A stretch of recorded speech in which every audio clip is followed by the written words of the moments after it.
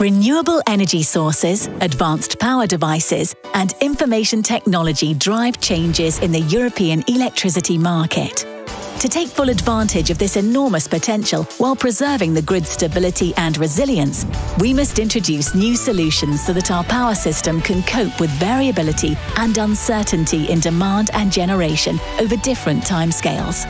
We are bringing these drivers closer than ever through the OSMOSE, an international project led by RTE and 33 partners in the energy sector, working together to capture the synergies across different needs and sources of flexibilities. Learn precisely how.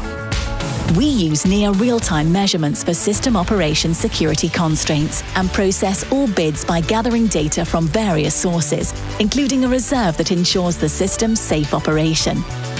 Following the marginal prices market principle, the advanced bidding platform then selects and activates optimal bids, which allows us to exchange flexibility within 15-minute timeframes and seamlessly integrate renewables into the grid. OSMOSE is the first to focus on grid flexibility and combining it with flexibility providers while improving market operation. The demonstration is carried out on the congested border between Italy and Slovenia minutes before the delivery. By increasing flexibility and reliability, OSMOSE aims to change the electricity market's existing and future services and ultimately bring more efficiency to the grid. Follow our next steps.